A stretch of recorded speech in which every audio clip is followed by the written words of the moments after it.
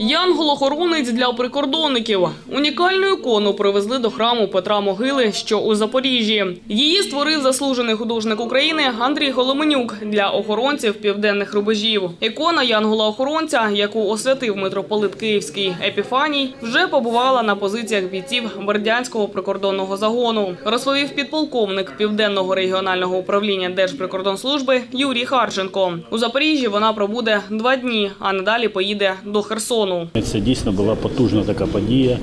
І на сьогоднішній час е, я для себе також важко, знаєте, зразу отак, е, як кажуть, ощутіть от то, що нам надали на сьогодні е, оцю ікону Янгола-охоронця. Наступним буде Херсонський бойовий наш прикордонний загін, де ми також по можливості до кожного військовослужбовця прикордонника дійдемо. Вона залишиться е, в регіональному управлінні прикордонної служби, південному регіональному управлінні.